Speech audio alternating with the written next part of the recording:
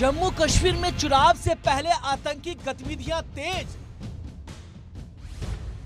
आतंक से बदला लेगा हिंदुस्तान।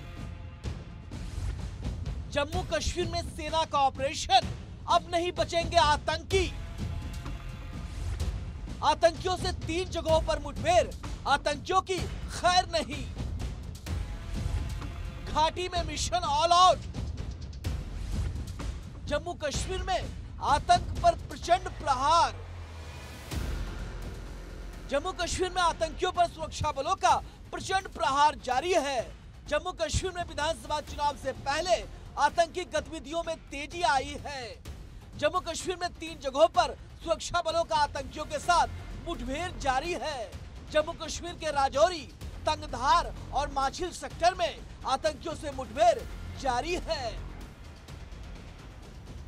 कुपवारा ज़िले के दो जगहों पर मुठभेड़ चल रही है। कुपवारा के तंगधार और माछिल सेक्टर में मुठभेड़ में सुरक्षा बलों ने तीन आतंकियों को ढेर कर दिया।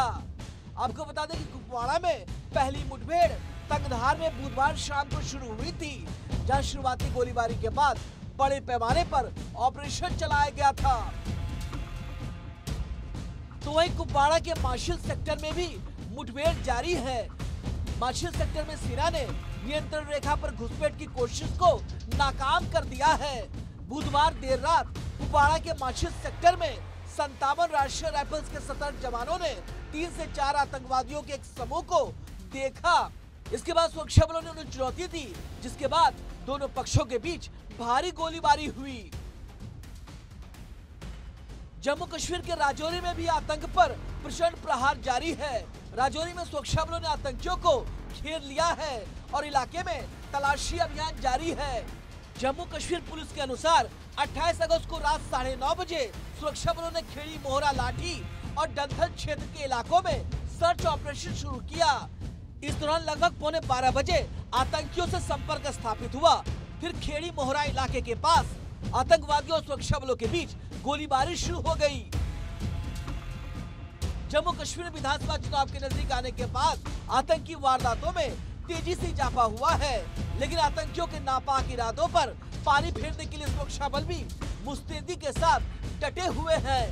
सुरक्षा बल कई जगहों पर पूरे जंगल को घेर कर सर्च ऑपरेशन चला रहे हैं।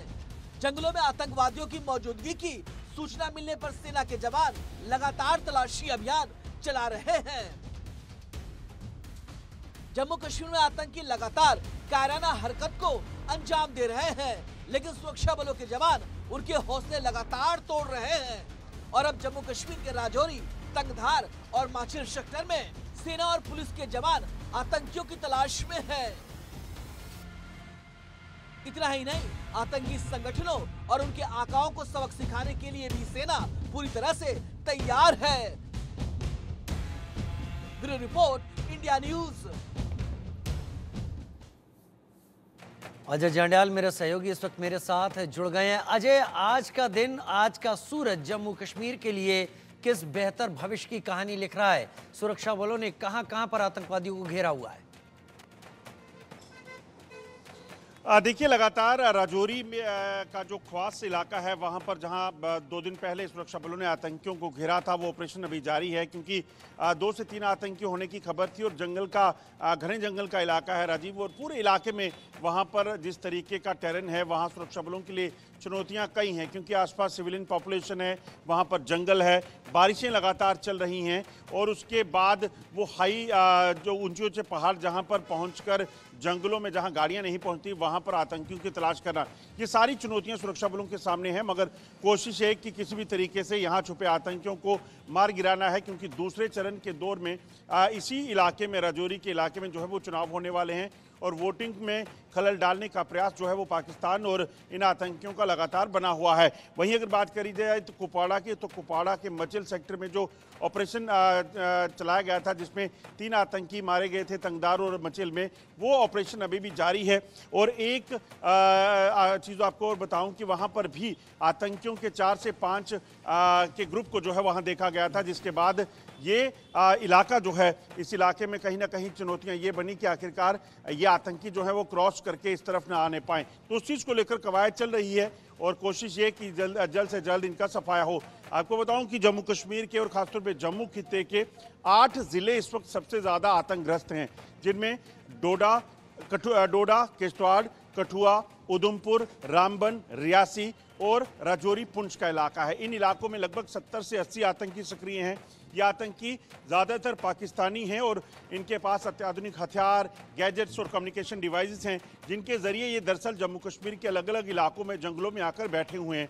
इनकी मंशा जम्मू कश्मीर में किसी भी तरीके से लोगों को टारगेट करने की है सिविल पॉपुलेशन को, सेना को टारगेट करने की है और जो हमले हमने पिछले दिनों देखे वो पूरे तरीके से पाकिस्तान में प्लान किए गए और इस चीज़ को देखकर कि किसी भी तरीके से यहाँ शांति को भंग करें, जो तस्वीर जम्मू कश्मीर की दूसरी लोग देख रहे थे, दुनिया देख रही थी कि शांति की, वो तस्वीर जो है वो कहीं ना कहीं इनको भा नहीं रही है, जिसके कारण ये पाकिस्तान का नया प्लान दिखा है। अजय क्योंकि भारतीय सेना अब ज़बरदस्त पलटवार कर रही है, लेकिन शायद अक्टूबर 2021 की वो घटना जहाँ पर इन्हीं जंगलों की बात जहाँ से आपने भी रिपोर्ट किया था, हम सबने भी उसको देखा था। अब तक इस तरीके की स्ट्रेटेजी तो तब अपनानी शुरू की थी जंगलों में भारतीय सेना को उलझाने की। उससे आतंकवादी हटे नहीं हैं। तो क्या यही पाकिस्तान का इन आतंकवादियों को निर्देश है कि शहरों में सामने आकर लड़ने की जगह भारतीय सेना को जंगलों में उलझाओ? देखिए, कश्मीर के हालात आपने देखे किस तरीके से कश्मीर में ज़्यादातर टेरर कमांडर जो है पिछले दिनों मारे गए और सबसे ज़्यादा इनकाउंटर जो पिछले कुछ सालों में हुए वो कश्मीर में देखने को मिले। वजह ये थी कि वहाँ पर आम लोगों ने ये जानकारियाँ जो हैं वो साझा की सुरक्षा बलों के साथ, जिसके बाद जो है सुरक्षा बलों ने ऑपरेशन चलाए और उन ऑपरेशन में कामयाबी मिली। यही वजह थी कि कश्मीर से आतंकियों को हटाकर या ये कहेंगे कि कश्मीर के बजाय जम्मू को टारगेट करने का सिलसिला शुरू हुआ। और जम्मू में अगर आप देखें तो पिछले कुछ समय में सबसे ज़्यादा आतंकियों की घुसपैठ हुई। वो अंतर्राष्ट्रीय सीमा से हुई, लाइन ऑफ़ कंट्रोल से हुई। वो जो हुई उसके बाद सबसे ज़्यादा जो प्लान किया गया था, वो ये कहा गया कि आपको लाइन ऑफ़ कंट्रोल से अंतर्राष्ट्रीय सीमा से घुसपैठ करके शहरों में नहीं बल्कि उन जंगलों तक पहुँचना है जहाँ आप लंबे समय तक समय तक सरवाइव कर सकें दरअसल डेल्टा और रोमियो फोर्स की जो तैनाती थी राजौरी पुंछ के इलाकों में हम्म। या फिर किश्तवाड़ डोडा के इलाकों में वहाँ से उनको जो है वो लद्दाख में जब एल पर विवाद हुआ था वहाँ पर भेजा गया उस कारण जो है वहाँ पर जो मौजूदगी थी सेना की वो कम हुई सुरक्षा बलों की जिसके बाद जो है आतंकियों ने जंगलों में डेरा डाला और इसी कारण आप देखें तो जंगलों में पिछले लंबे समय से ये आतंकी जो हैं वो छुपे हुए हैं। और जब भी इनको निर्देश मिलता है सरहद पार से, तब वो किसी हमले को अंजाम देते हैं। तो यकीनन ये एक स्ट्रेटजी पाकिस्तान की इसलिए रही होगी क्योंकि किसी भी तरीके से उन्हें जम्मू कश्मीर में अगर ज़्यादा लंबे समय तक जो है इनको तैनात आतंकियों को रखना है ज़्यादा लंबे समय तक डिस्टर्बेंस रखनी है तो उनको, उनके सर्वाइवल का सोचना होगा। इसलिए आप देखें तो पहले, पिछले एक डेढ़ साल में जो है ओवरग्राउंड नेटवर्क को एक्टिवेट किया गया। कई ऐसे जो युवा जो जम्मू कश्मीर से पाकिस्तान में आतंक ट्रेनिंग के लिए गए थे, उन युवाओं का इस्तेमाल करके एक बार फिर से यहाँ पर आतंक के नेटवर्क को, उनके दोस्तों के ज़रिए, उनके रिश्तेदारों के ज़रिए जो भी कम्युनिकेशन किया गया, उसके ज़रिए यहाँ पर एक्टिवेट किया गया। और फिर इन जो युवाओं को इन आतंकियों को जो है ओवरग्राउंड वर्कर्स को जो है इस्तेमाल करके इन आतंकियों को बॉर्डर से घुसपैठ करने के बाद जंगल तक पहुँचाया गया। जिन जगह पर इनको रुकना है जिनको इन, जो इनको लॉजिस्टिक सपोर्ट चाहिए तमाम वो चीज़ें जो है मुहैया करवाई गई। और उसी के बाद जो आप देखें तो जब कठुआ में आतंकी हमला हुआ उसके बाद जब नेटवर्क को खंगाला गया तो पता चला कि कैसे लियाकत लतीफ़ नाम के जो लोग थे वहाँ पर ओवरग्राउंड वर्कर का का काम करते थे। उनकी मदद से आतंकियों ने हमला भी किया और वो एक जगह से दूसरी जगह गए भी। हाकम दीन को जिसको रियासी से पकड़ा गया था रजौरी से पकड़ा गया था रियासी हमले का जो आ, सबसे बड़ा मेन जो एक्यूज माना जा रहा है क्योंकि उसी ने ओवरग्राउंड वर्कर ने बनकर पैसे की खातिर छः हज़ार रुपये की खातिर उस बस पर हमला करवाया। और उन आतंकियों को अपने घर पे खाना रहने का सामान और बाकी चीज़ें जो उनको चाहिए थी वो मुहैया करवाई।